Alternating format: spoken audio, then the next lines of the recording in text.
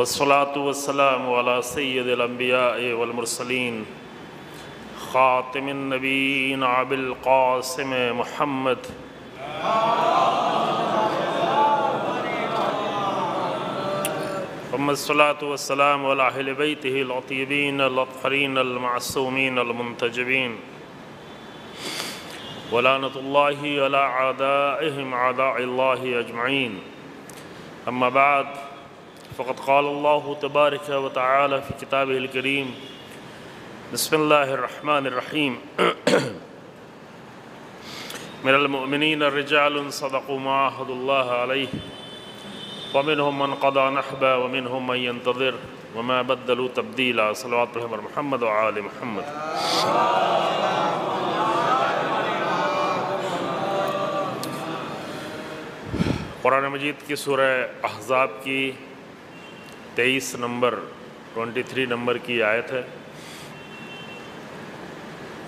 ये आयत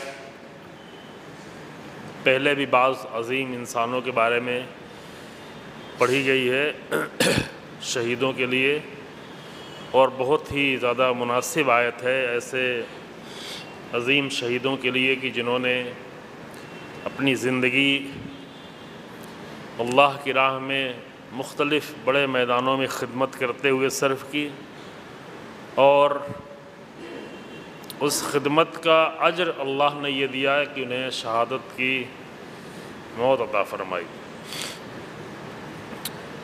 यूँ तो आम तौर से शहादत किसी के मरने पर तसलियत पेश की जाती है तो हम ठीक है, हम भी तसलियत पेश करते हैं तमाम ममिन को। ममिन ईरान को, रहबर इनकलाब को, मराजे को और ख़ास कर इमाम ज़मान अज्जल्ला फ़रज शरीफ को और उस माँ को जिसने तिरसठ साल में तकरीबन सत्तावन साल अपने बेटे के लिए माँ और बाप बनकर पाला था। बाप का इंतकाल पाँच साल की उम्र में हो गया था, पाँच साल में यतीम हो गए थे। और माँ अभी भी ज़िंदा है। शायद पता नहीं आप लोगों ने वीडियो देखी हो या ना देखी हो। माँ को जब खबर दी गई, वो माँ की जो अभी भी ज़िंदा है और बहुत ही एक तन्हाई की ज़िंदगी में जी रही थी। हमें कुछ मतालब आपकी खिदमत में अर्थ करने हैं, लेकिन एक वीडियो मैंने आज देखी। एक ऐसा इंसान की जो रईस जमहूर हो, एक मुल्क का सदर हो, जो तेरह साल तक चीफ जस्टिस के अहदे पर आओ जो बीस साल की उम्र से, अभी तिरसठ साल की उम्र में शहादत हुई है, लेकिन बीस साल की उम्र से बड़े से बड़े बड़े अहदों पर दादस्तान के अहदे पर बीस साल की उम्र में फ़ायद हुए थे, करज शहर में, जो तेहरान से करीब है। और उसके बाद मुसलसल कई कई सारे अहदों पर और बड़े बड़े अहदों पर 20 साल की उम्र से, यानी तकरीबन तिरालीस साल से जो इतने बड़े बड़े अहदों पर ज़िंदगी गुजार रहा था, उसका जब घर देखा, माँ का घर देखा तो उसमें एक कमरा भी नहीं, सिर्फ़ एक हाल है, एक हाल के एक एरिया में बिस्तर, बेड लगा हुआ है, एक हाल के मकान में वो माँ ज़िंदगी गुजार रही। ये है कल मैंने लखनऊ में छोटे इमामबाड़े में एक मजलिस पढ़ी थी। वहाँ पे एक जुमला कहा था, वजाहत वहाँ भी नहीं की थी, यहाँ भी वजाहत ज़्यादा नहीं करेंगे। और वो ये है अजीज़ों की बड़े अहदों पर रहते हुए अगर इंसान अपने तकवा की हिफाजत करे तो ये वाकई तकवा है। ये हकीकी तकवा है। जिसके पास कुछ ना हो तो उसकी ज़ाहरी ज़िंदगी तो तकवा वाली लगती है। अब नीयत में क्या है, वो तो ख़ुद जाने। जो कुछ लोगों के पास कुछ नहीं होता, लेकिन नीयत में तकवा नहीं होता। नहीं होता, लेकिन आरज़ू वही होती है कि मुझे भी कोई मौका मिल जाए, मुझे भी कोई अहदा मिल जाए तो क्या क्या करेंगे? लेकिन अहम मसला ये होता है कि इतने बड़े अहदों पर रहते हुए एक तकवा की ज़िंदगी और हकीकी तकवा। ये है अम्बिया की सीरत।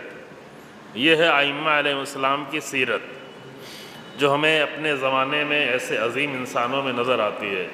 आप इमाम खुमैनी के घर को जा कर देख लें, आप रहबर इनकलाब के घर को जा कर देख लें।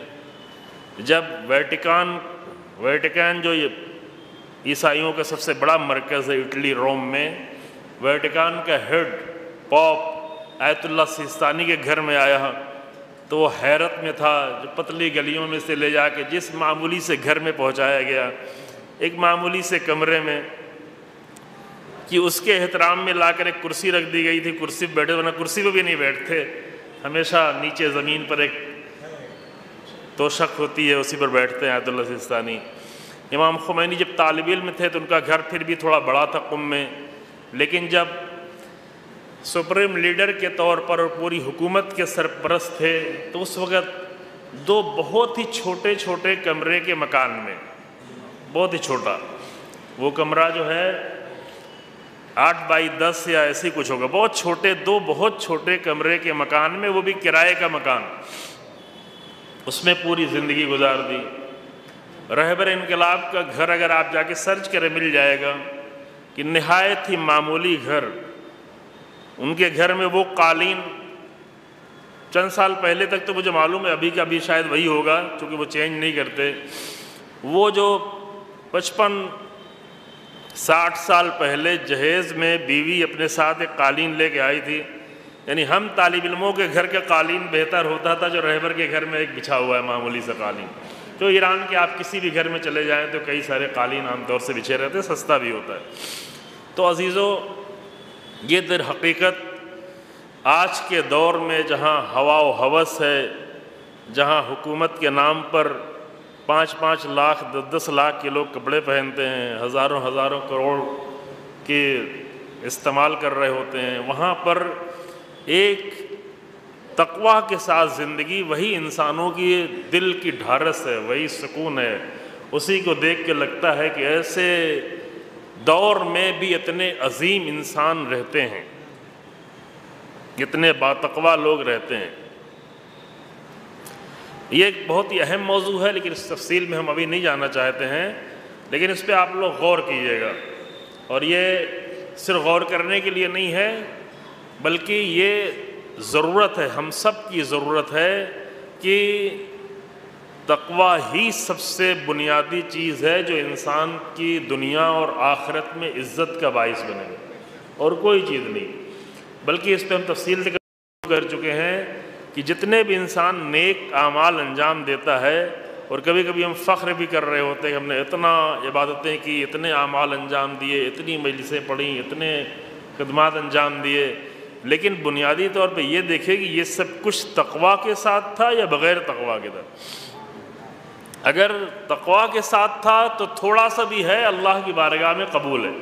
और तकवा के साथ अगर नहीं है तो कितना भी ज़्यादा हो, कितना भी कसरत से क्यों ना हो, कुरान में यह फार्मूला बयान कर दिया गया है कि इन नमा ये तकबलू इन नमा ये तकबल्ला मिनलमतकीन अल्लाह सिर्फ़ मुतकीन ही से कबूल करता है मुतकीन के सिवा किसी से कबूल यानी कोई भी अमल अल्लाह कबूल नहीं कर सकता तकवा के बगैर। ये कानून है एक। इस कानून को आप जाके तफसील से पढ़ सकते हैं, अभी इस पर गुफ्तु नहीं करनी है।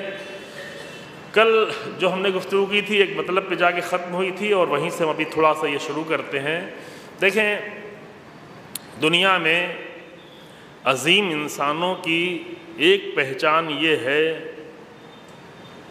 बहुत ही अजीम इंसानों की एक पहचान ये है कि उनके चाहने वाले भी बहुत दिल से चाहते हैं उन्हें, और उनसे दुश्मनी रखने वाले भी बहुत ही ज़्यादा शदीद दुश्मन होते हैं। किसी की दुश्मनी को देख के ये ना समझ लें कि ये इंसान बुरा है। ये देखें कि किस तरह के लोग उससे दुश्मनी करते हैं। ये बहुत ही अहम मसला है। और किसी की दोस्ती किसी की मोहब्बत को देखकर ये ना समझ लें कि इतने लोग चाहते हैं तो बहुत अच्छा इंसान होगा। ये देखें कि किस तरह के लोग चाहते हैं। समझ रहे हैं? ये बहुत ही अहम मसला है। किस तरह के लोग चाहते हैं?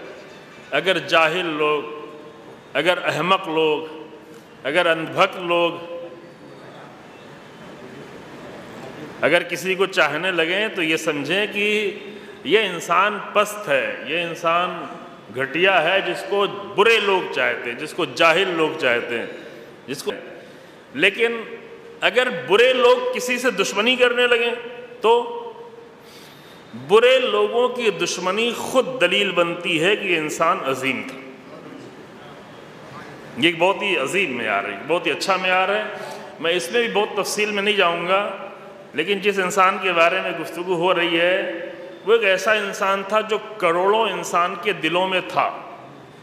उसकी दलील ये कि कल मैं लखनऊ में अपने घर से सिर्फ़ आधा किलोमीटर के फासले पर मजलिस पढ़ने जा रहा था, जो मेरे घर से छोटा इमाम बाड़ा तकरीबन आधा किलोमीटर के फासले पे। तो बीच में हमें दो जगह और भी प्रोग्राम होता हुआ नज़र आया। और आज यहाँ पे आप इतने फासले पर और कई मालूम कितनी जगहों पर कितनी मजलिसें हो रही हैं, कितने प्रोग्राम हो रहे हैं। तो प्रोग्राम तो ऐसे कोई नहीं होता। अपने मरने वालों को भी इंसान सेवम चालीसवां करने के बाद फिर भूल जाता है। दूसरे मुल्क में किसी की किसी का इंतकाल हुआ है, किसी की शहादत हुई है, इतने सारे मुल्कों में, इतनी अकीदत के साथ लोग प्रोग्राम कर रहे हैं, इसका मतलब क्या है? यानी दिलों में जगह है, दिलों में मोहब्बत है। तो ये शहदा वो थे कि जिनको जिनको बहुत सारे करोड़ों लोगों के दिलों में जगह थी, और वो भी दो तरह के लोग थे। जो कि जो लोग, मामूली लोग होते हैं, वो अपने घर वालों के दिल में भी नहीं रहते। है ना? उनकी कोई हैसियत ही नहीं होती। ना उनसे कोई मोहब्बत करता है, ना उनसे कोई दुश्मनी करता है। क्योंकि दुश्मनी करने के लिए भी कुछ होना तो चाहिए ना। जिसके पास कुछ है ही नहीं, उसे दुश्मनी कोई क्या करे? दुश्मनी करने के लायक भी नहीं होते।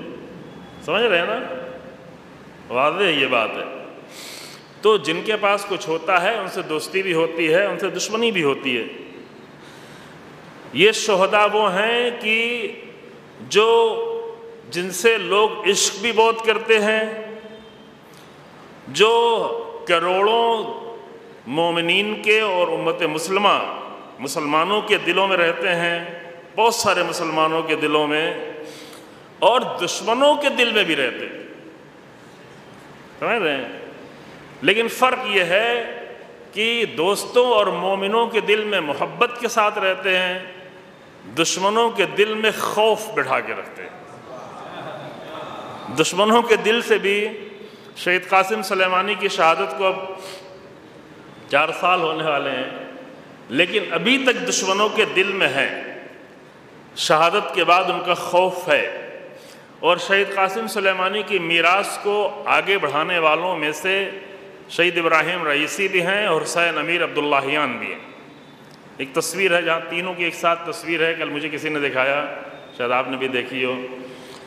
शहीद कासिम सलेमानी ने पूरी दुनिया के हालात को तब्दील किया था और बहुत बड़ी तब्दीलियाँ हुई थी। ईरान में भी मैं ये मतलब जल्दी से कह के गुजर जाऊँ, इसकी तफसीलात बहुत ज़्यादा। ईरान में भी बहुत सारे प्रेसिडेंट ऐसे आए, बहुत सारे सियासी लोग ऐसे हैं कि जो ये सोचते हैं कि ठीक है, इस्लाम है, इनकलाब है, ये सारी अच्छी चीज़ें हैं, लेकिन जिस तरह से यूरोप ने तरक्की की है और अमेरिका ने तरक्की की है, तरक्की का रास्ता तो वही है।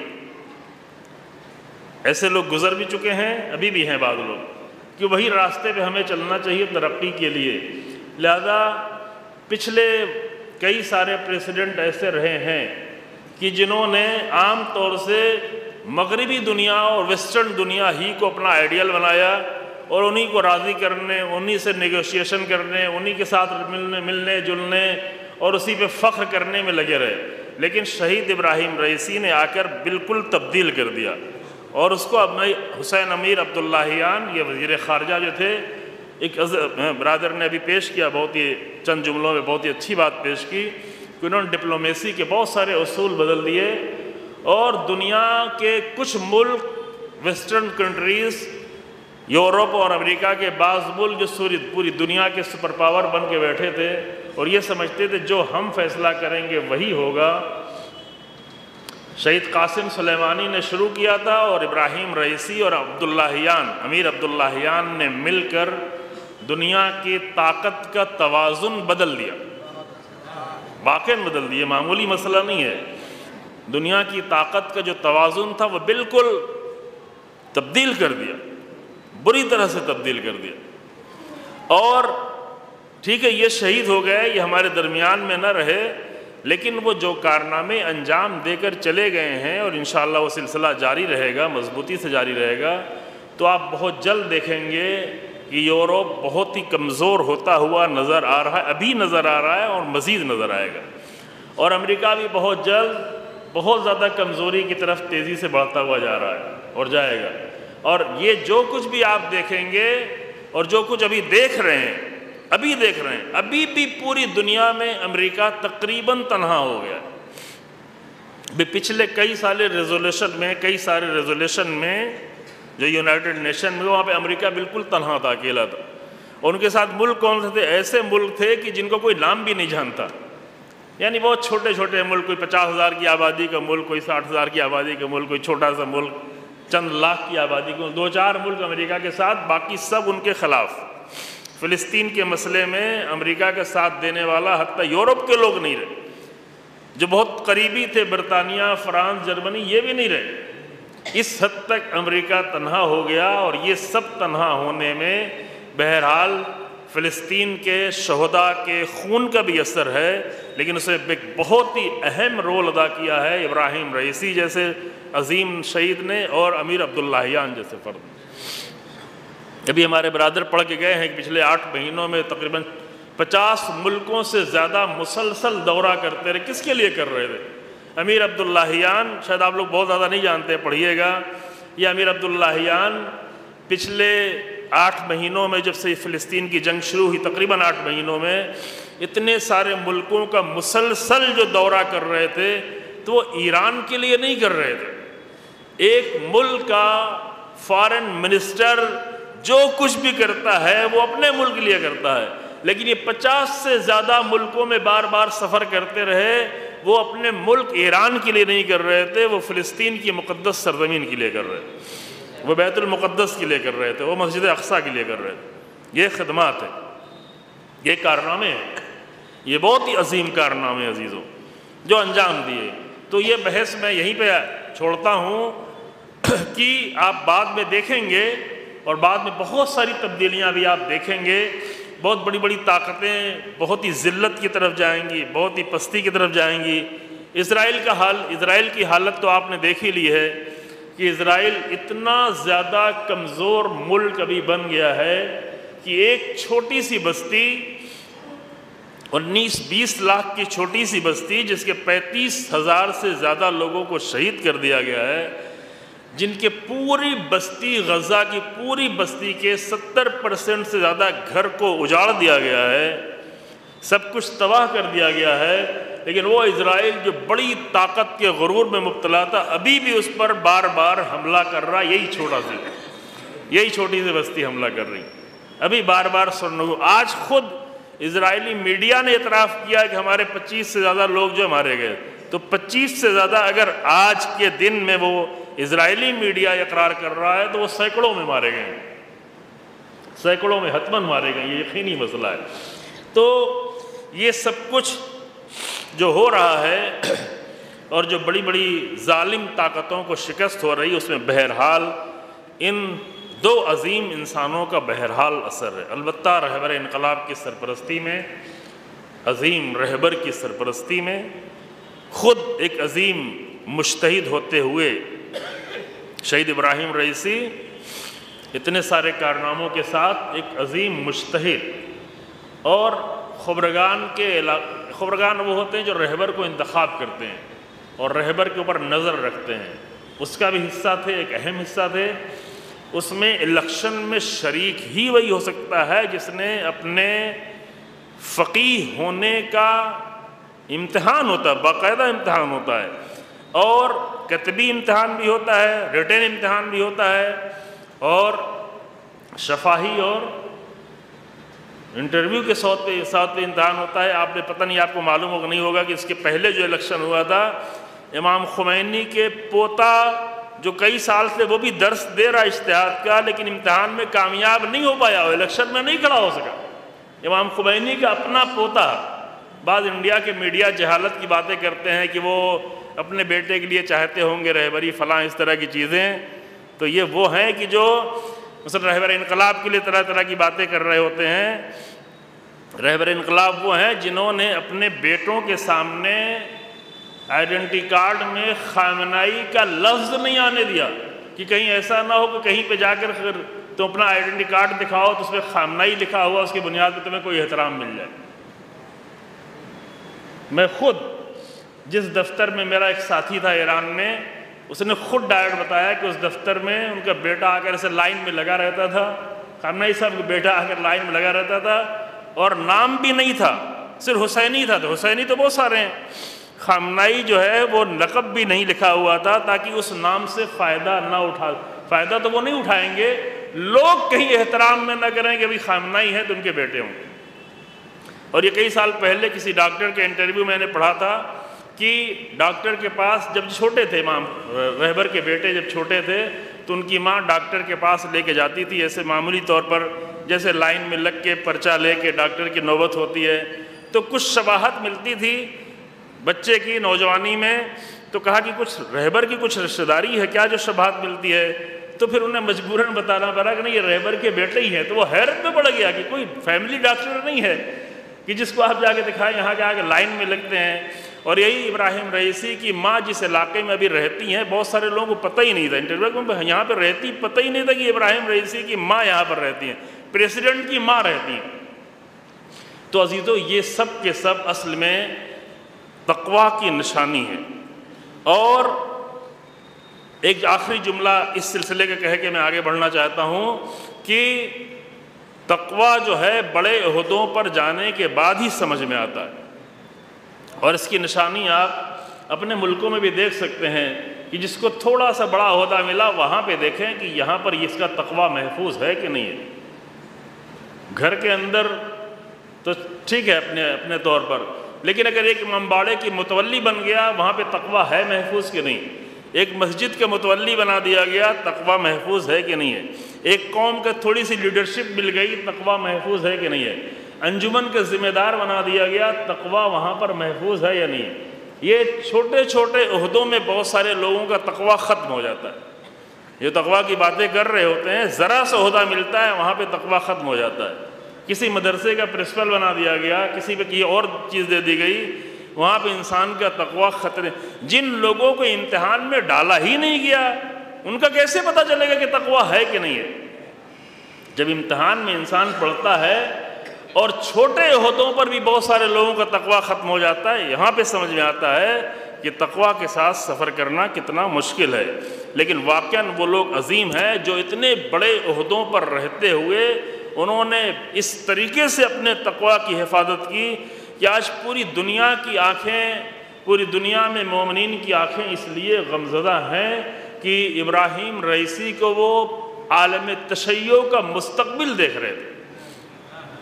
समझ रहे हैं? शीयत का एक मुस्तबिल अल्लाह रहबर इनकलाब को तोल उम्र अता फरमाए और रहबर इनकलाब ही के ज़रिए से इन इनकलाब का परचम इमाम ज़मान अज्जल्ला तफ़रज शरीफ के हाथ तक पहुँचे। ये करीब में मस्जिद है। अल्लाह अकबर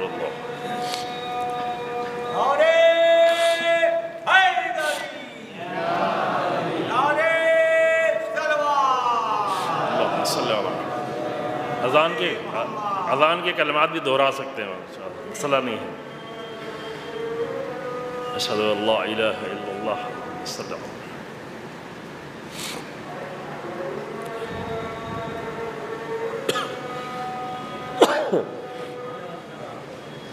सल्लल्लाहु अलैहि वसल्लम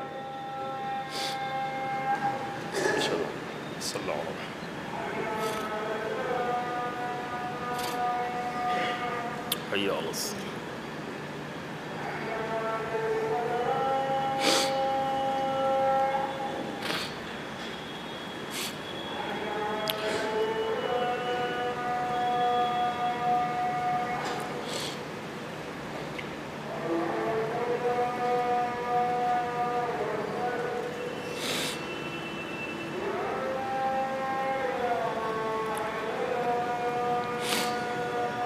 मोहम्मद और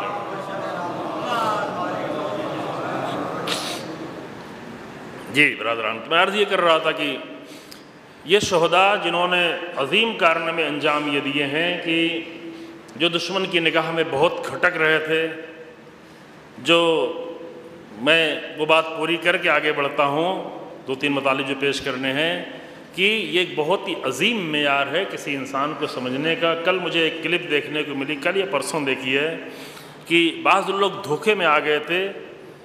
एक चैनल है जो सीआईए के ज़रिए से चल रहा है, यकीनी तौर पर।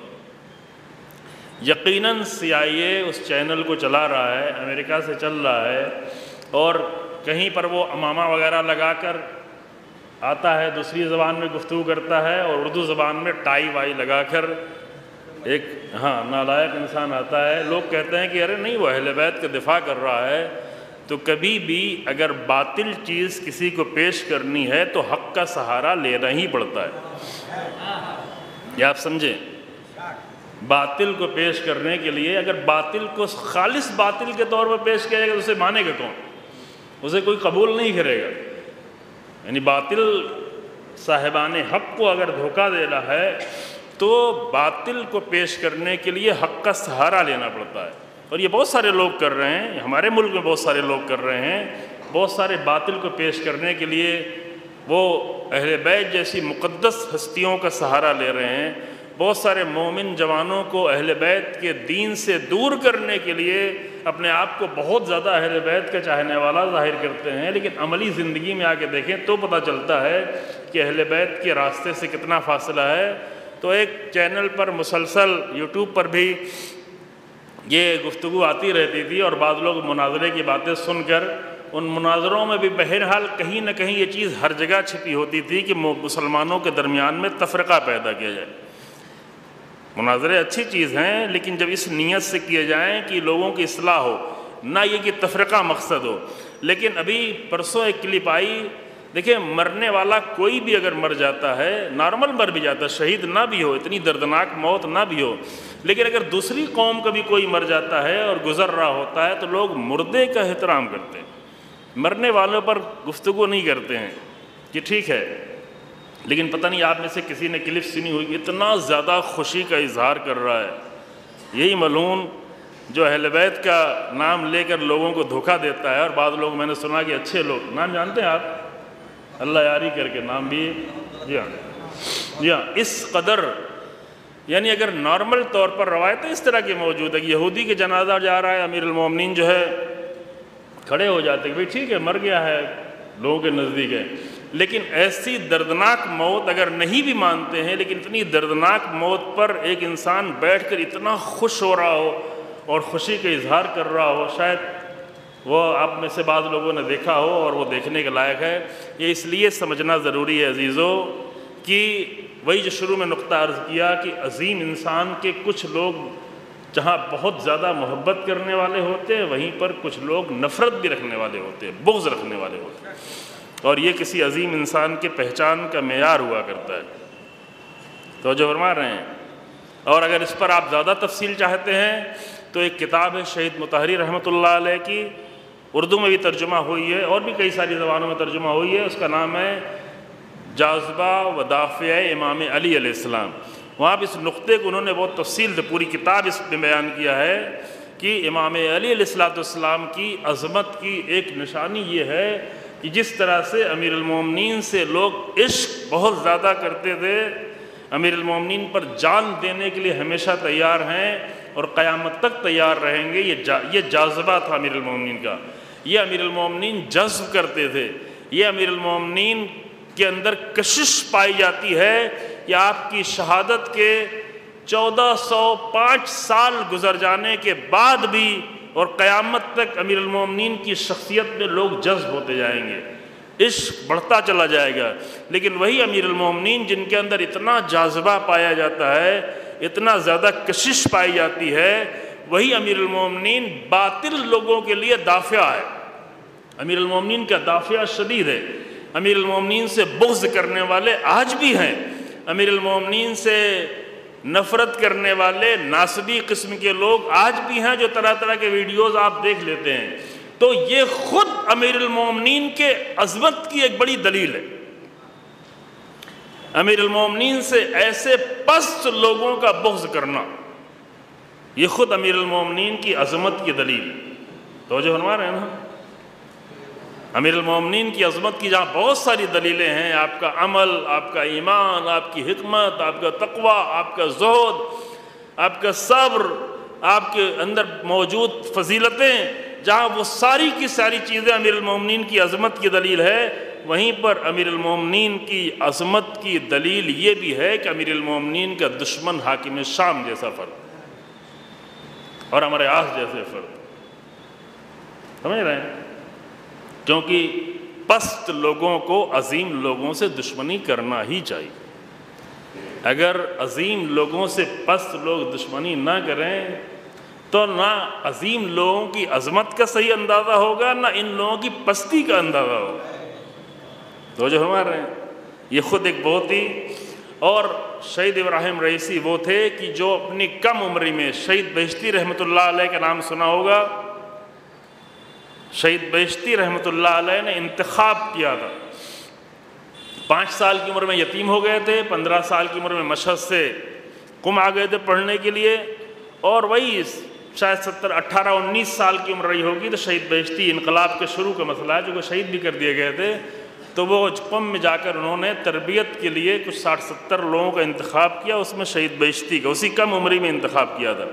और बहुत जल्द ही वो दर्जात उन्होंने तय करते रहे, अजीम मंजिलों पर रहे, मैदान जंग में रहे, जाकर वहाँ पर तबलीग भी करते थे, जंग के मैदान भी रहा करते थे, लेकिन उसके साथ साथ पढ़ाई को बहुत ही मजबूती से जारी रखा। आमतौर से ये होता है कि इंसान अब कोई बड़ा काम कर रहा था अरे, पढ़ाई तो अब नहीं हो सकती, अब ये सर्विस कर रहे तो पढ़ाई नहीं हो सकती, फ़लाँ काम कर रहे पढ़ाई तो नहीं हो सकती।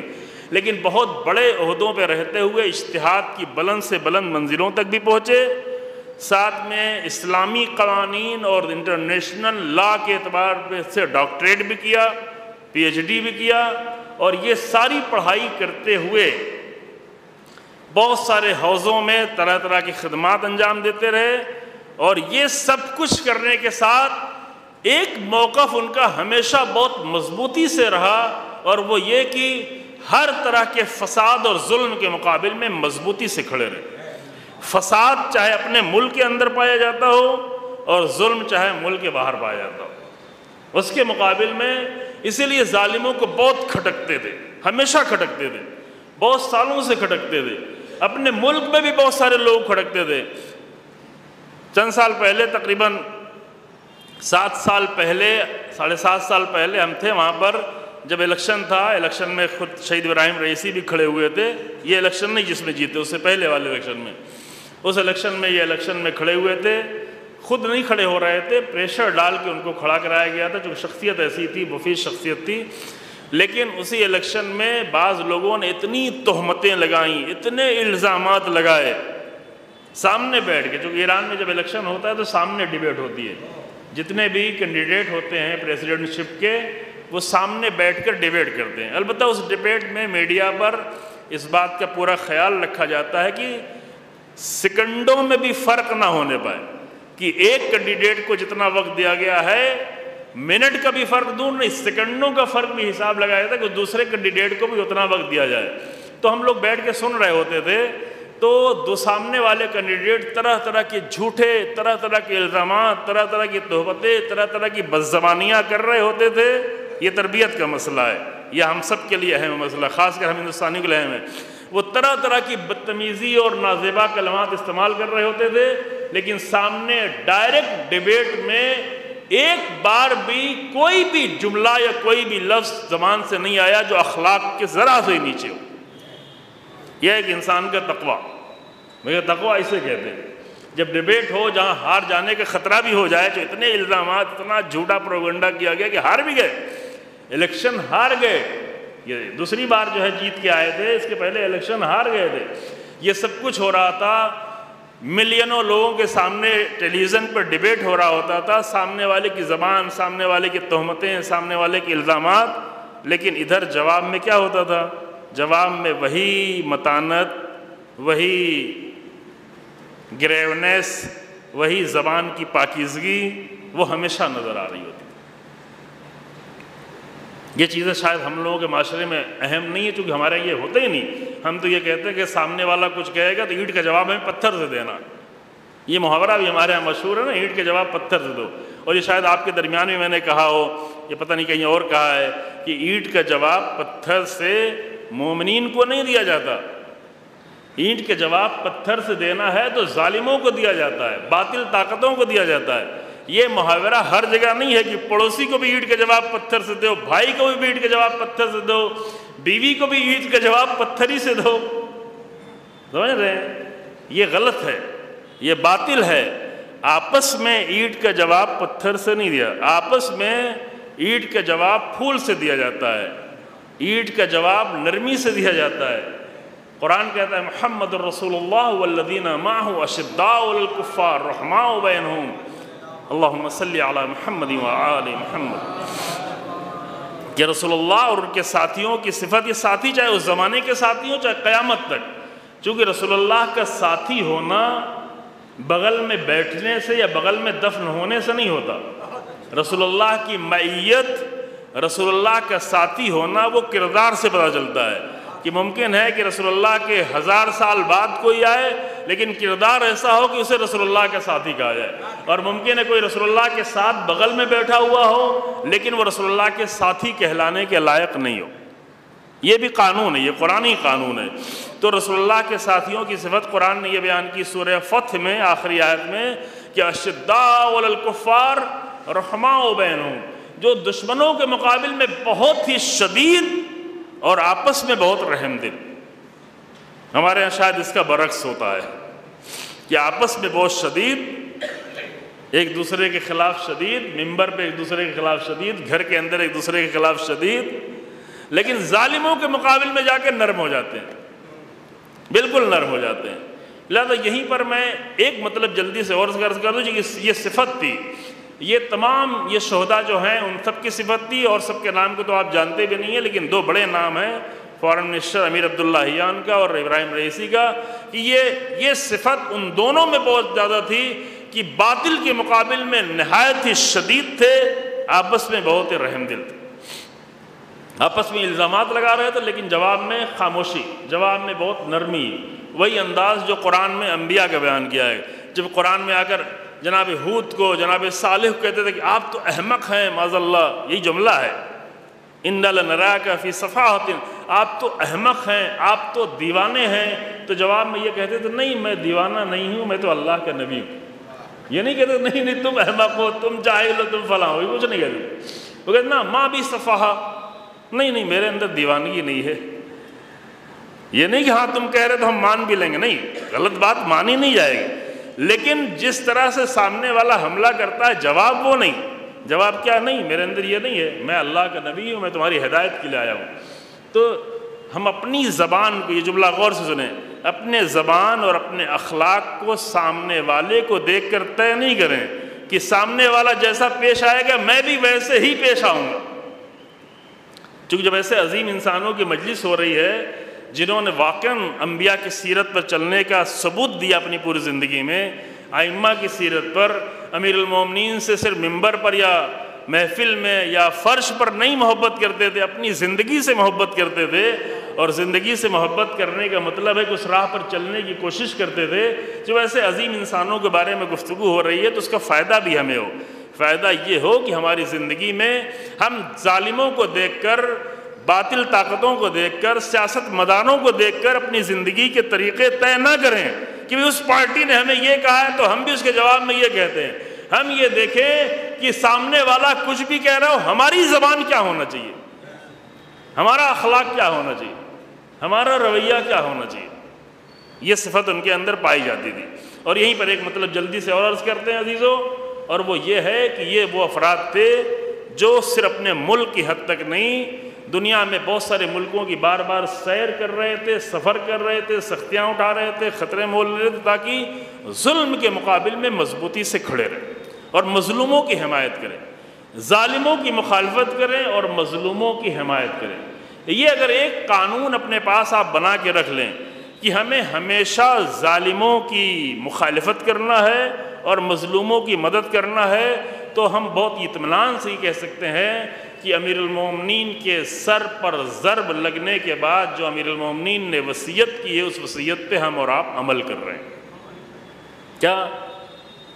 कून में खसमा वलमदलूम आना देखो ालिमों के दुश्मन बन के रहो और मज़लूमों के मददगार बन। ज़ाहिर है, जब ालिमों को कोई दुश्मन होगा तो ालिमों को वोट डालने नहीं जाएगा। है ना? अब दुनिया भर के ालिमों का भी पता बहुत खुलकर सामने आ गया बाद लोग छिपे हुए थे। अब वो सारी चीज़, अभी आज का ज़माना ऐसा कि हर चीज़ खुल के सामने आ जाती है। अब ये कोई धोखा नहीं दे सकता, नहीं, मुझे मालूम नहीं था। कोई ये जाकर नहीं कह सकता, नहीं, क़यामत में जाके परवरदिगार से कह, परवरदिगार मुझे खबर नहीं थी, मुझे मालूम नहीं था।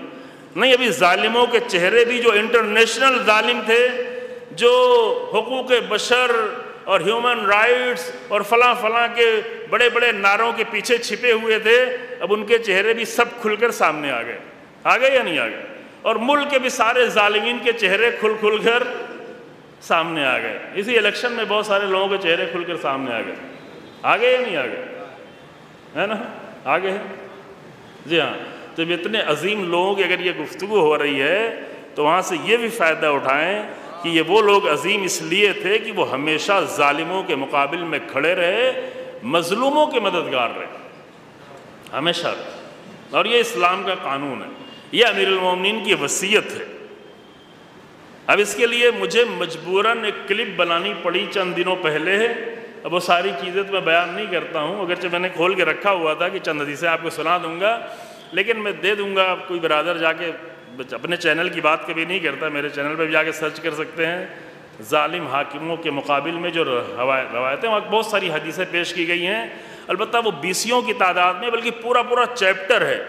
मुझे ताज्जुब होता है कि बाज़ लोग जब मदरसे में और हौज़े में पढ़ कर आकर इस तरह की बातें करते हैं तो मुझे ताजुब ये होता है कि पता नहीं इन्होंने हदीसें पढ़ी हैं कि नहीं पढ़ी। ये चैप्टर पढ़ा है कि नहीं पढ़ा है? इतनी ज़्यादा रवायतें मौजूद हैं। मैं खाली उनवान बता देता हूँ। हदीसें आप जाके सुन लीजिएगा और जहाँ भी मौजूद हैं, आपको ज़रूरत है पूछ लीजिएगा। मैंने भी अपने मोबाइल में खोल के रखा हुआ अगर किसी को ज़रूरत होगी वो भी दे देंगे। उनवान ये है कि ालिमों के ालिम हाकिमों के, सितमगार हाकिमों के, अगर सुई में धागा डालने के बराबर भी हिमायत कर दी, ये रवायत के जुमले इस हद तक। अगर कलम सीधी करने, कलम लिखना नहीं, अगर सिर्फ़ कलम सीधी करने, कलम को दवात में डालने की हद तक भी अगर मदद कर दी तो उसके बहुत बुरे अंजाम रवायतों में बयान किए गए। अगर मध की, अगर उनके सामने तवादो किया, अगर उनके सामने हम्बलनेस से पेश आए, ये सारे कलमात हैं, हमारे नहीं हैं, ये सब रवायत के जुमले हैं। और ये रवायतें ज़्यादातर जो हैं अमीरमिन और रसोल्ला अलैहि वसल्लम की हदीसें और दीगर आइमा से भी रवायतें बहुत ज़्यादा है। पूरा चैप्टर जो हमने जो पेश की थी वो ज़्यादातर रसोल्ला और अमीर अमीरमिन से पेश की थी, ताकि सभी लोग समझे। चूँकि अमीर अमीरमिन और रसोल्ला की ज़ात वो जो शिया, सुन्नी सबके दरमियान में कॉमन सबके नज़दीक बहुत ही रसोल्ला का दर्जा और अमीर अमीरमिन का मकाम, शिया, सुन्नी सब के नज़दीक अजीम है। तो इसलिए हमने उस क्लिप में ज़्यादातर रवायतें जो है वो रसोल्ला और अमीरमिन से पेश की, कि जिसमें नतीजे ये बयान किए गए हैं कि अगर ालिमों की हमायत में वोट वोट देना तो बहुत दूर की बात है। अगर ालिमों की हमायत में कलम की हद तक भी, कलम सीधा करने की हद तक भी, सुई में धागा डालने की हद तक भी, और अगर मध करने की हद तक, ज़बान तक, उनके दरवाजे पे जाना अब अबवाब सुल्तान, अगर सुल्तान के दरवाज़ों पे जाए, वह हवाशी है और उनके वज़ीरों के अगर दरवाज़ों पे जाते हैं तो रवायतों में यह है कि उनका अंजाम उन्हीं ालिमों के साथ होगा। और वो अंजाम भी साथ एलन नार, बाज जगह है, बाज जगह फिर नार है। कि जहन्नम तक उनका अंजाम उन्हीं ालिमों के साथ होगा। समझ रहे हैं? यह है मसला। है यह है मसला। एक दो रवायत पढ़ दें आपके सामने। वक्त ज़्यादा नहीं है। मैं एक एक दो रवायत पढ़ देता हूँ, लेकिन पूरे पूरे चैप्टर हैं, इसके बड़े चैप्टर हैं। चूँकि पता नहीं आप लोगों को किसी को फुर्सत होगी कि जाकर देखेगा, नहीं देखेगा तो शायद ना हो फुर्सत। इसलिए बेहतर है कि एक दो रवायत आपकी खदमत में पेश कर दें। जी हाँ। मन खफ़ा सुल्तान जायरिन फ़ी हाजत काना करीन हो फिन्नार। जो भी अपने आप को एक सुल्तान जालिम हाकिम के सामने आकर हम्बलनेस से खफ़ा यानी अपने आप को हल्का दिखाए कि, अरे, आप ही सब कुछ है, मैं क्या हूँ, फला है? ऐसे अंदाज से पेश आए तो क्या ना करी न हो फिर नार तो वो जहन्नम में साथ में होगा। करीन यानी? जी हाँ जहन्नम में साथ ये मामूली मसला नहीं है। साथ में होगा।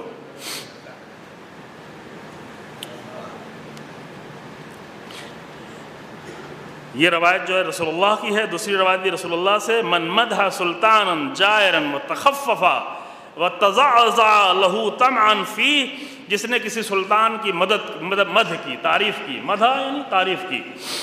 वह तखफ़ा और उसके सामने वो क्या हुआ?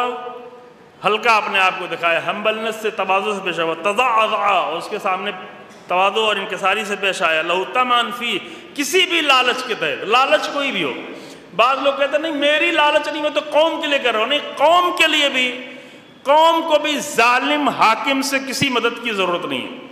कोई मदद की ज़रूरत नहीं। ये बात हमने लखनऊ में कही, यहाँ पे ज़रूरत नहीं है, लेकिन मैं एक जुमला दोहरा देता हूँ कि हमें ऐसी बाद लोग ये बहाना करते नहीं अजादारी इनके ज़माने अच्छी भाई, ऐसी अजादारी की ज़रूरत ही नहीं है जो यजीदों की मदद से चले। है? आपको हो तो हो। आपको हो तो हो, लेकिन हुसैन इब्ने अली को ऐसी अदादारी नहीं चाहिए। आपको अपनी रस्में पूरा करना हो तो ठीक उसके लिए कर सकते हैं। लेकिन फर्जंद जहरा को ऐसी अदादारी नहीं चाहिए जिसकी मदद करने के लिए यजीदों का सहारा लेना पड़े। चाहिए? आप खुद ही बताएँ, चाहिए? हुसैन इब्ने अली को तो ऐसी अदादारी नहीं चाहिए। तो काना, फिर यहाँ पे जुमला काना करीन हो एलन्नार वहाँ तो फिन्नार जहन्नम के अंदर यहाँ पे इलन्नार, यानी उसका सफ़र भी जो है, उसी जालिम हाकिम के साथ जहन्नम तक जारी रहेगा। सिर्फ़ यहाँ नहीं है। सिर्फ़ यहाँ साथ नहीं है। सिर्फ़ यहाँ तस्वीरें साथ में नहीं है। जहन्नम तक ये सफ़र रहेगा। सफ़र जारी रहेगा। ये बातें इसलिए नहीं कह रहा हूँ कि किसी की तोहन हो। ये इसलिए कह रहा हूँ कि ताकि ये बात कहीं तक पहुँचे और महफूज हो। मोमिन लोग हैं, महफूज हैं। हो सकता है नहीं पढ़ाओ रवायतों को, हो सकता है हदीसों को नहीं पढ़ाओ। अब इससे मिलती जुलती बहुत सारी सुल्तान इमाम अलीसम की हदीस बाद सुल्तान लतामना खुद अशैतान सुल्तानों और हाकिमों से, ज़ाहिर हाकिम से मुराद यहाँ पर सब जालिम हाकिम है। जालिम हाकिमों से अपने आप को दूर रखो ताकि शैतान के फरेब से अपने आप को बचा सको। लतामना खुद अशैतान ताकि शैतान के धोखे से अपने आप को महफूज रख सको, अमन में रख सको। ठीक है? इस तरह के ईया ईयाकुम वाबवा सुल्तान।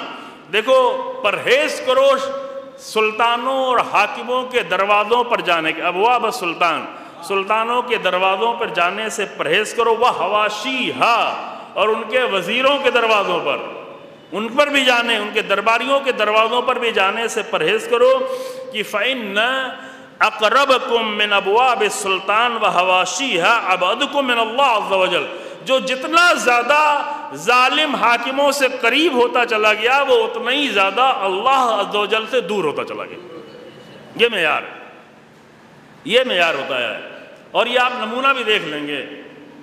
खुदा करे कि ऐसे लोग आपको ना मिले कोई, और आपके वतन में कोई ऐसा ना हो, मुझे मालूम नहीं है।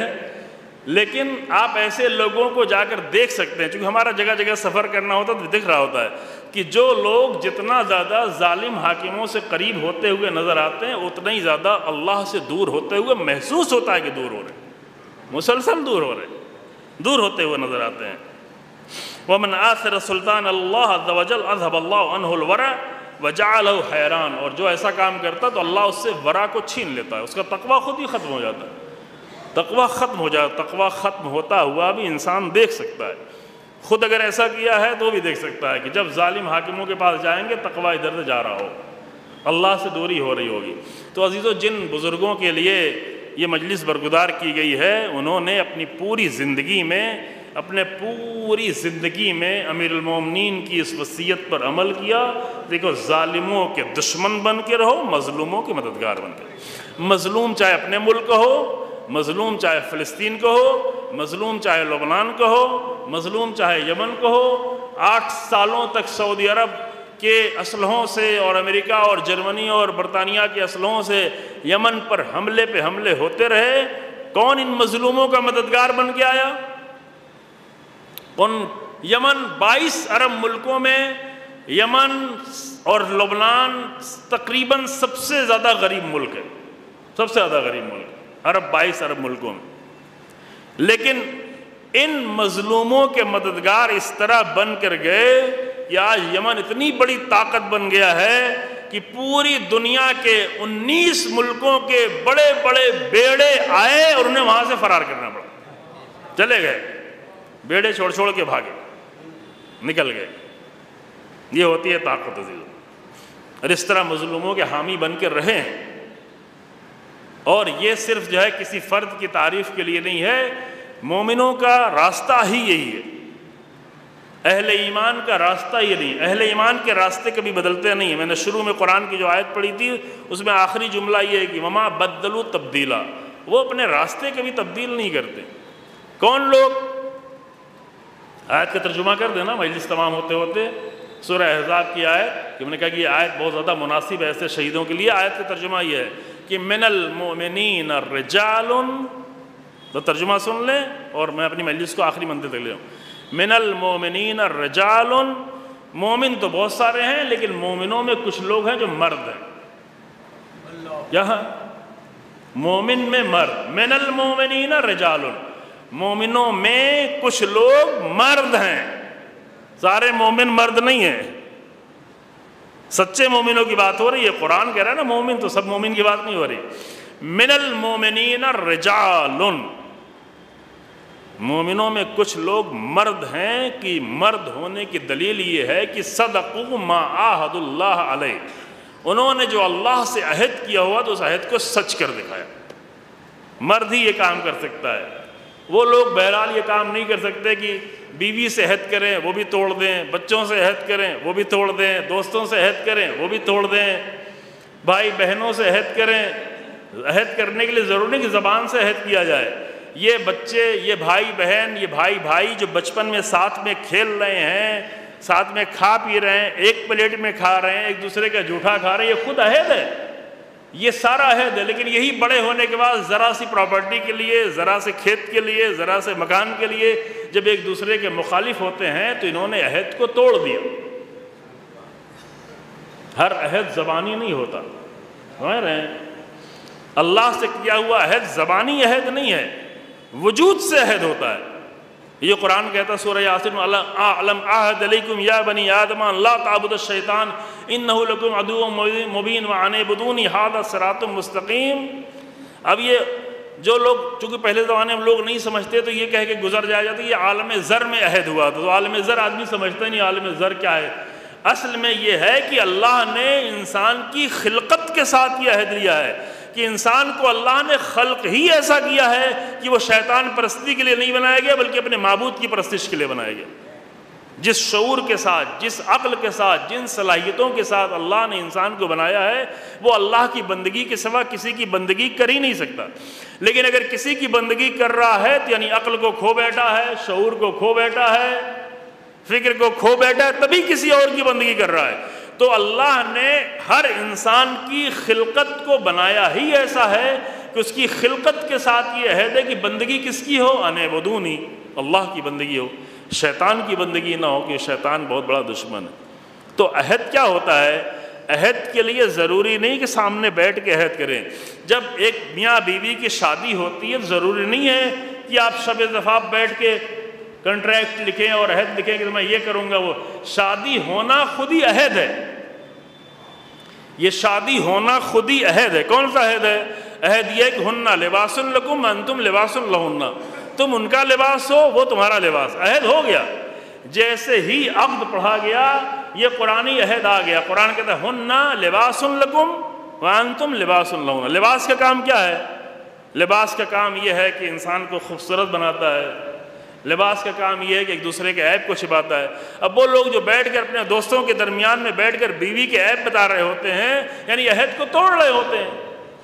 अहद को तोड़ रहे होते हैं। बीवी का काम यह है कि अपने शौहर के ऐप अगर है भी तो उसे छिपाए। अब वो अपनी सहेलियों और कज़न्स और खाजात बहनों और फफीजात बहनों के दरमियान में बैठ के और अपने घर में जाकर, अपने मैके में जाकर अगर शौहर की बुराई कर रही है तो वो अहद तोड़ रही है। अहद टूट गया। आपका अहद कहाँ किया नहीं ये अहद जो हुआ, यही खुद अहद है। यही दो इंसान में अगर दोस्ती हुई तो दोस्ती होना ही अहद है। यही कि अल्लाह ने इंसान को पैदा किया है, इन सलाहियतों के साथ जानवर नहीं बनाया, दरख्त नहीं बनाया, पत्थर नहीं बनाया, ज़मीन नहीं बनाया, इंसान बनाया तो इंसान बनाना खुद ही अहद है। कि अल्लाह की बंदगी की जाए। तो अहद तो बहुत सारे लोग कर लेते हैं, अहद तो मोमिनों ने भी किया हुआ है लेकिन मिनल मोमिन रजाल तमाम मोमिनों में से कुछ लोग हैं जो मर्द क्या हैं? मर्द हैं। अल्लाह अकबर। मैं सिर्फ़ आयत का तर्जुमा कर ले जाऊँ और बीच में अमीर अमीरमिन अली बिन अबी सलाम का एक जुमला पेश कर दूँ।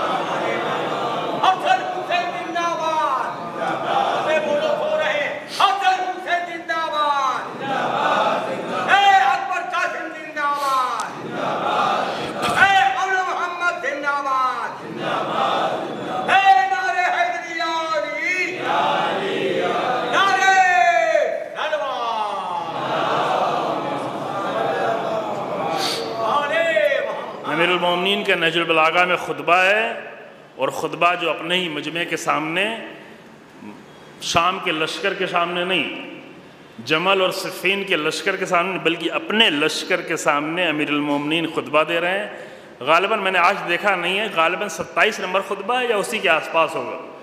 शुरू में ही मिल जाएगा आपको। आप जाके देखें नजरबलागा में। बहुत ही खूबसूरत खुतबा है, पूरा बहुत ही अहम खुतबा है।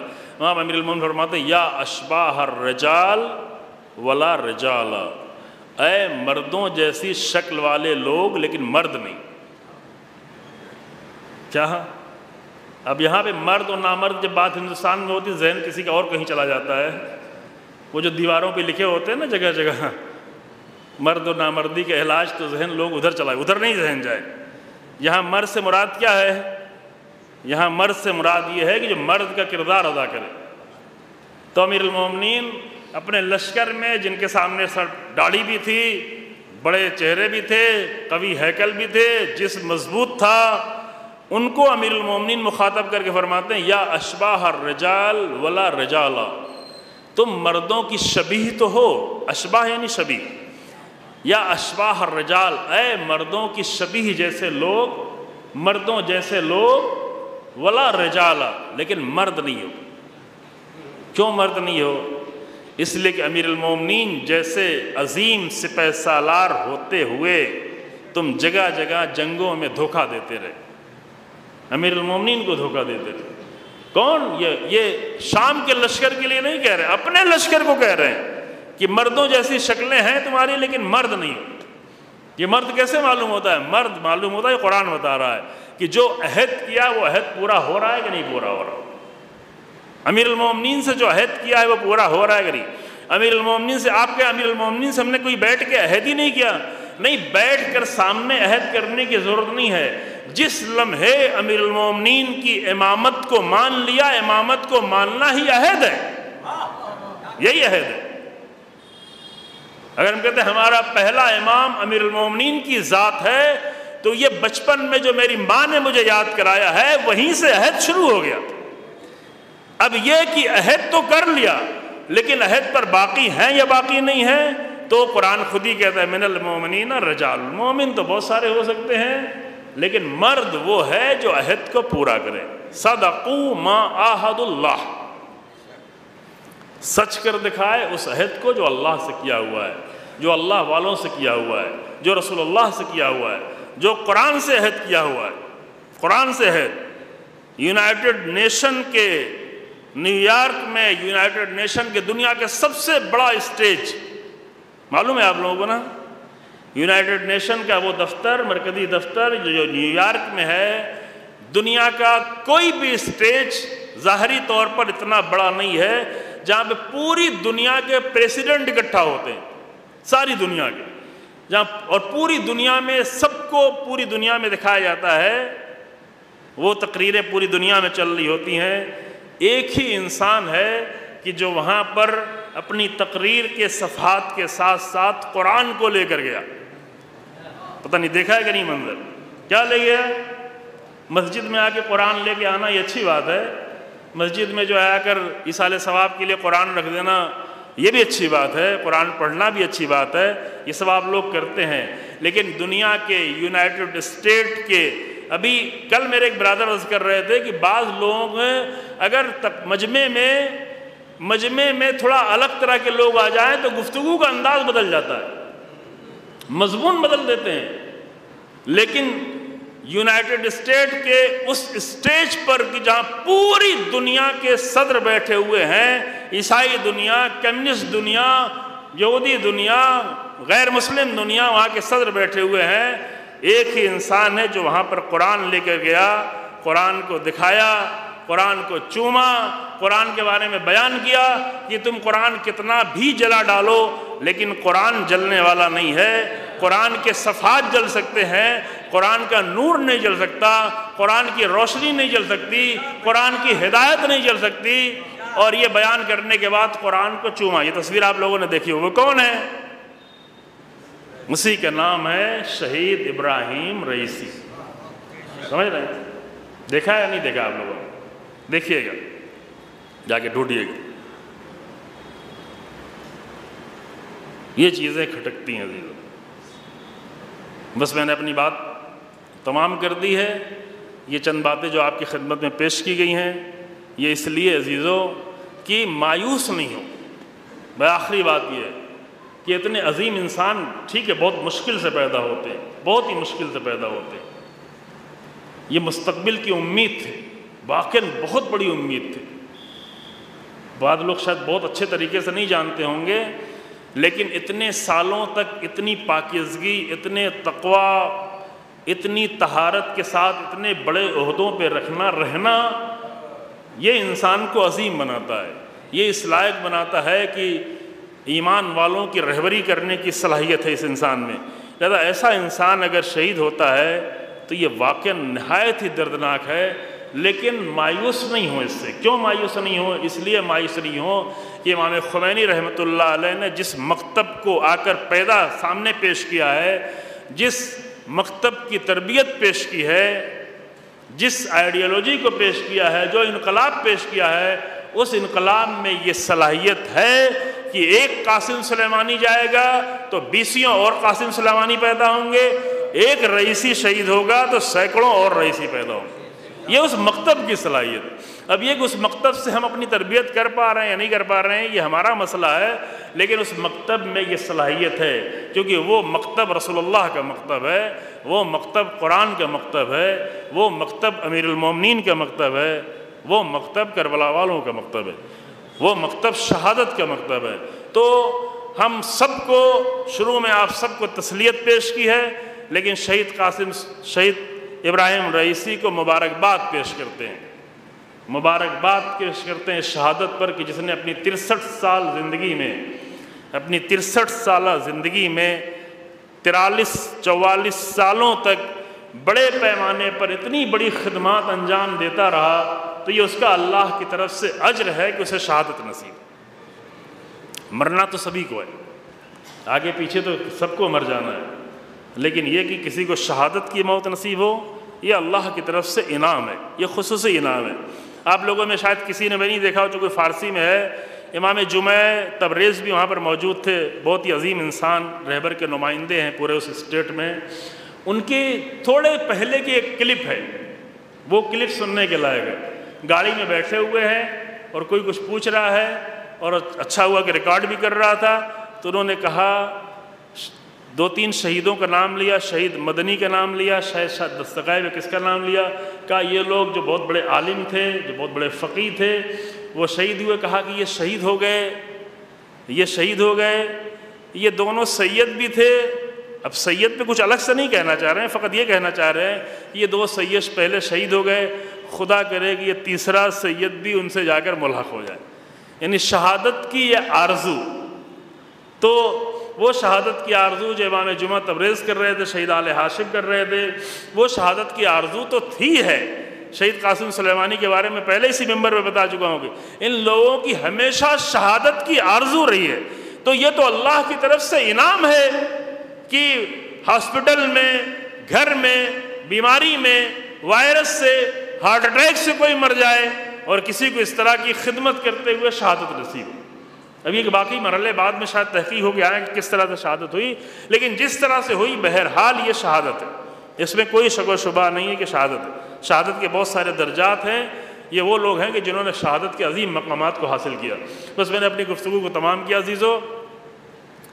एक इंसान अगर ऐसा हो कि जो लोगों के ढारस बन जाए लो, जो लोगों का सहारा बन जाए, जो सिर्फ़ किसी एक इंसान का नहीं, सिर्फ़ अपने घर वालों का नहीं, सिर्फ़ अपने माँ के लिए नहीं, सिर्फ़ अपनी फैमिली के लिए नहीं, बल्कि पूरी मिल्लत का अगर सहारा बन जाए तो उस इंसान की कीमत बहुत ज़्यादा हो जाती है। जो अपने रहबर का सहारा बन जाए, रहबर इनकलाब पिछले 35 सालों में पिछले 35 सालों में पहला ये ऐसा प्रेसिडेंट मिला था जिससे रहबर इनकलाब बहुत ही ज़्यादा मुतमिन थे। वरना इसके पहले तो बहुत तरह तरह की ख़यानतें हुई, जो भी आया। कुछ कम, कुछ ज़्यादा। मैं उस तफसील में नहीं जाना चाहता, लेकिन इसके पहले के प्रेसिडेंट्स ने रहबर के दिल को बहुत दुखाया है, बहुत ज़्यादा दुखाया है। और रहबर के दिल को दुखाया है तो इमाम ज़मान के दिल को भी दुखाया है। यही जो रूहानी मौजूद हैं जो आठ साल तक ईरान के प्रेसिडेंट रहे, लेकिन बहुत बार बार तकलीफ़ पहुँचाई, नहायत तकलीफ़ पहुँचाई। तस्वुर नहीं कर सकते, ऐसी ऐसी तकलीफ़ें पहुँचाई। अहमद नजाद चार साल तक ठीक थे, लेकिन आखिरी चार साल में उन्होंने उन्होंने भी बहुत सारी तकलीफ़ पहुँचाई। उसके पहले ख़ात्मी थे, उन्होंने ईरान के इनकलाब को ख़त्म ही करना चाहा। बिल्कुल ख़त्म करना चाह। ये हिजाब वगैरह के सारे मसले जो उठ रहे हैं, वो सब ख़ात्मी के दौर के शुरुआत इन्होंने इनकलाब को बिल्कुल बुनियाद जड़ों से हिलाना चाहा। और उसके पहले हाशमी रफसंजानी थे, खुदा रहमत करे, लेकिन बहुत सारे मसाइल में वो भी रहबर को मुश्किल ही ईजाद किया करते थे, जो उनके खुल के वाद नज़रिया था कि इनकलाब अच्छा है, कुरान की बातें अच्छा है, कुरान की तफसीर भी लिखी थी, लेकिन उनकी भी सोच यही थी कि ईरान तरक्की उसी वक्त कर सकता है जब यूरोप के रास्ते पे चले और अमेरिका के रास्ते पे चले ख़ास कर इकतसादी लिहाज से और सियासी लिहाज से। ये उनकी सोच थी। रहबर ने बाकायदा खुतब जुमा में साफ़ साफ़ तौर पर बयान किया कि इस सोच के मैं मुआफ़ नहीं हूँ हर किस इस सोच के मुआफ़ नहीं हूँ, लेकिन ये उनकी सोच थी, सामने बैठे भी थे उस ज़माने में, उस वक्त का।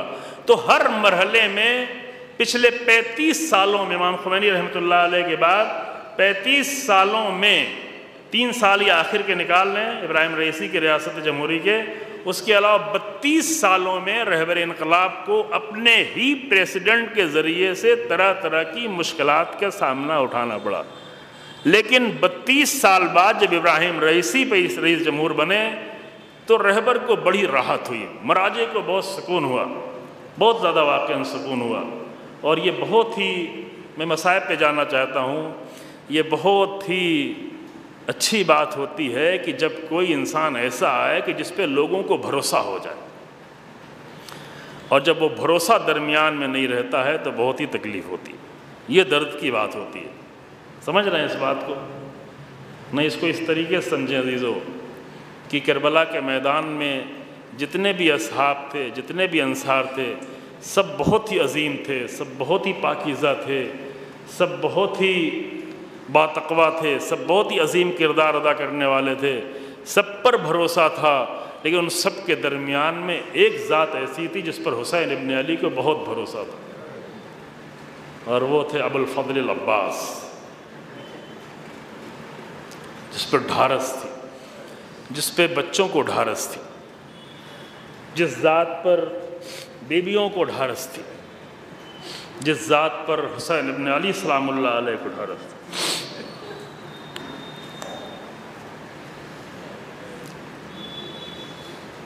और आज हम बहुत ही इतमान से ये कह सकते हैं कि आज के दौर में जिस शख्स पर भरोसा था, धारस थी, पूरी कौम को, ईरानी कौम को, तशैय को, शीयत को, आलम इस्लाम को, कल मैं एक आलम अहल सुन्नत अहल सुन्नत आलिम की क्लिप सुन रहा था, अभी वक्त नहीं रहा, मैं मसाहब पे आ गया हूँ।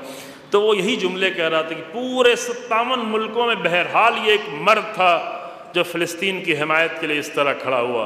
ये वो मर्द था जो यूनाइटेड नेशन में जाकर कुरान का दिफा कर रहा था। ये सिर्फ़ शिया नहीं कह रहे हैं, ये अहल सुन्नत कह रहे हैं, अहल सुन्नत उलमा कह रहे हैं। तो शहीद इब्राहिम रईसी वो थे कि जिस पर पूरी कौम को भरोसा था, फ़लस्तीन के मज़लूमों को भरोसा था। वो जो पैंतीस हज़ार शहीद हो गए, उनके वारिसों को भरोसा था, रहबर इनकलाब को भरोसा था। हम लोग जो यहाँ बहुत दूर बैठे हुए हम सबको भरोसा था, अगर ऐसा इंसान इस दुनिया से उड़ जाता है तो वाकई कितनी आँखें अशकबार हुई, कितने लोग रोए, कितने दिल टूटे, कितनी तकलीफ़ का सामना हुआ, लेकिन अल्लाह इसका जबरान करेगा। अल्लाह इनकलाब के ज़रिए से ऐसे इंसान को और ले आएगा। ये सिलसिला जारी रहेगा रहबर इनकलाब ने फरमाया कि कोई भी खलल ईजाद नहीं होगा। ऐसे अजीम सुप्रीम लीडर के होते हुए कोई भी खलल इन ईजाद नहीं होगा। लेकिन जाने का दर्द तो होता है, जाने की तकलीफ़ तो होती है। सबके जाने का गम था। लेकिन बीबियों को ये सोच के अच्छा लगता था कि अबल फजल अब्बास तो मौजूद है।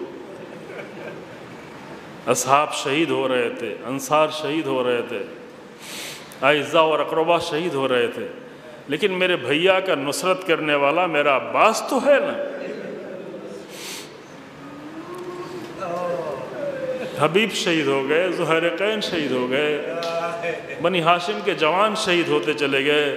लेकिन जब तक मेरा अब्बास मौजूद है, मेरे भैया का दिल ठहरा हुआ है, मेरे भैया की ढारस बनाओ। एक अकेला अब्बास मेरे भाई की ढारस है। लेकिन अजीज़ों और ख़ुद हुसैन इबन अली का दिल ठहरा हुआ था कि मेरा अब्बास मौजूद है। लेकिन जब खैमे से आवाज़ आई लेकिन जब मक्तल से यह आवाज़ गोजी, या अखी अदरिक अखा। ये मक्तल के जुमले हैं, मोतबर मक्तल के जुमले हैं। जाकिरीन से नहीं पढ़ते हैं, लेकिन ये मोतबर मक्तल के जुमले जब ये मक्तल से आवाज़ गोजी, या अखी अदरिक अखा। तो हुसैन इबन अली ने अपने कमर पे हाथ रख लिया और आवाज़ दी अलान इन कसर वक़ल्लत ही लती। व शम्मत भी अधू भी ऐ मेरे भैया, इस आवाज़ ने मेरी कमर तोड़ दी। इसके पहले इतने सारे लोग शहीद हुए, लेकिन हुसैन इब्न अली की कमर नहीं टूटी थी, क्योंकि अब्बास मौजूद। अलान इन कसर जहरी कल्लत ही लती, चारे राह न रहा। वह शम्मत भी अदुवी ऐ मेरे भैया, दुश्मन मुझे ताने देगा। अल्लाह अकबर। सबके जनाजे उठा उठा कर लाए गए और शहदाय करबला में किसी का जनाजा भी ऐसा नहीं था कि जिसने दो चार ज़ख्म खाए हों। दसियों ज़ख्म, बीसियों ज़ख्म, सैकड़ों ज़ख्म, तीर, तलवार, नेज़े, ये जनाजे लाकर मकतल में और कभी खैमे में लाए जाते रहे, बीबियाँ ये मंज़र देखती रहीं। लेकिन एक जनाजा वो था जो दरियाए फ़रात के किनारे से उठ के ना आ सके। इसे जैनब कैसे देखेगी? इसे बहनें कैसे देखेंगी? इसे बीवी कैसे देखेगी?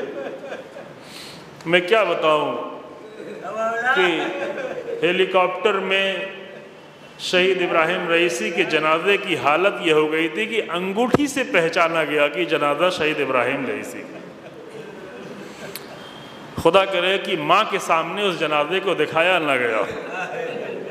एक बूढ़ी माँ जो मौजूद है, तकरीबन नब्बे साल की माँ। खुदा करे कि माँ ने वो जनाजा ना देखा हो। कि कुछ जनाजे ऐसे होते हैं कि जिसको देखकर दिल फट जाता है। शहादत तो अल्लाह की तरफ़ से रिस्क है, लेकिन तस्वीर में कहीं भी शहीद इब्राहिम रईसी के जनाजा नहीं देख सके। हम लोग भी शायद देख ना सकें तो माँ कैसे देखेगी? हुसैन इबन अली इसीलिए अबुल फजल अब्बास का जनाजा लेकर नहीं आए कि ये जनाजा दरिया के किनारे ही पड़ा रहे। इस जनाजे को बहने ना देखें। वो बाजू जिस पे सबको भरोसा था, वो कटे हुए बाजू का मंजर भला बहने कैसे देखें? वो बाजू जो सबका सहारा था, वो बाजू इस तरह कट गया है कि हुसैन अपने अली तो देख रहे हैं, लेकिन ये मंजर बीवी ना देखे, ये मंजर बहने ना देखे, ये मंजर बच्चियाँ ना देखे। अल्लाह अकबर। बस मैंने मसायब तमाम किया अजीज़ो, हुसैन इबन अली सराहने पहुँचे, भाई के सराहने पहुँचे, और वहाँ से आखिरी विदा है। भाई से जुदा हो रहे हैं। वो कलमात में नहीं पढ़ रहा हूँ कि जो मक्तल में नहीं है अजीज़ों। लेकिन बस इतना ही एक सदमा है और जो चीज़ आज तक रुलवाती है और हमें आपको नहीं, हमें आपको नहीं रुलवाती है, बल्कि मरवान जैसे शकी मरवान का नाम आप सभी ने सुना होगा। मरवान जैसा शकी, जिसे इंसान तो कहा नहीं जा सकता, जो अशकल अव्वलीन और आखरीन के बाद शकी इंसान था, जब वो भी जन्नतुलबकी से गुज़रता था और एक माँ की फरियादें सुनता था कि जन्नतुलबकी में जनाब उमुलबनीन अपने बेटों को सबको तो याद नहीं करती थी हमेशा हुसैन इबन अली को याद कर कर के रोया करती थी। लेकिन अबल फजल अब्बास के लिए एक जुमला कहती थी अः मेरे लाल, मुझे ये खबर दी गई है, ये अशार मौजूद है तारीख में। अशार का तर्जुमा अः मेरे लाल, मुझे ये खबर दी गई है कि तेरे हाथ काट दिए गए थे। जब तू घोड़े से ज़मीन पे आया तो तेरा हाथ कटा हुआ था। ऐ मेरे लाल, अगर तेरे हाथ सालिम होते तो किसमें मजाल थी जो तेरे करीब आता। अगर तेरे हाथ सालिम होते तो किसमें ज़रूरत थी जो जहरा के लाल के करीब आता। अब्बास ना रहे तो हुसैन तनहा हो गए। अब्बास ना रहे तो हुसैन खेमे में भी तनहा है, मख्तल में भी तनहा है। और अपने जब छः महीने के बच्चे की लाश उठानी पड़ी तो भी हुसैन तनहा थे। जब कब्र बनानी पड़ी तो भी तनहा थे। ऐ मेरे भैया अब्बास, हर लाशे के उठाने में तुम मेरे साथ साथ रहे। लेकिन छः महीने के बच्चे का लाशा उठाना हुआ तो हुसैन तनहा। इन्ना लिल्लाहि व इन्ना इलैहि राजिऊन।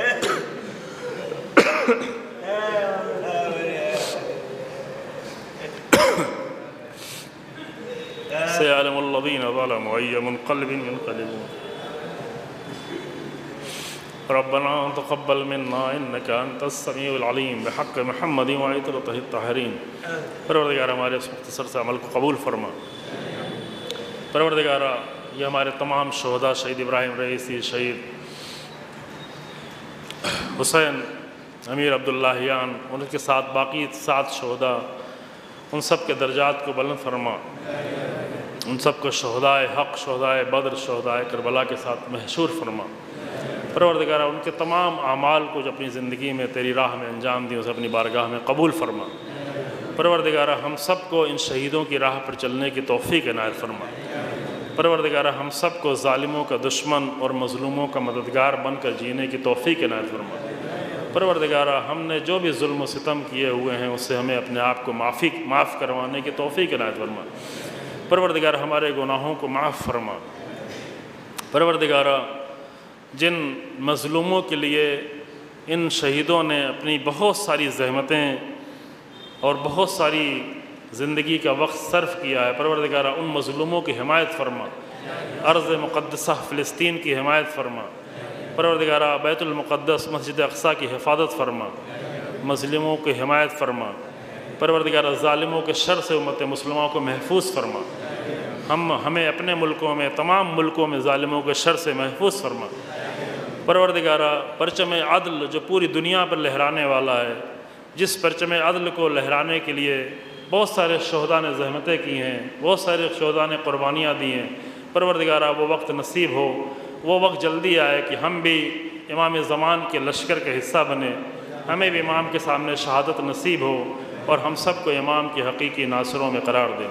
रबना तकबल मन्ना इन का अंत समीम बहक़ महमद मतरत ताहरीन। अफजला से गुजारिश है कि सुर हम और सूर तोहद की तलावत फरमा कर तमाम शहदा इस्लाम ख़ास कर शहीद इब्राहिम रईसी, शहीद हुसैन अमीर अब्दुल्लायान शहीद अबू सैद अबू आल हाशिम और तमाम दीगर शहदा जो शहीद हुए उन सब की रूह को साल फरमा दें अल्लाह सल महमद अल्लाम सल महमद महमद अल्लाम सल महमद बसमीम अलहमदिल्ला रबालमीन रहीम मालिक यौमुद्दीन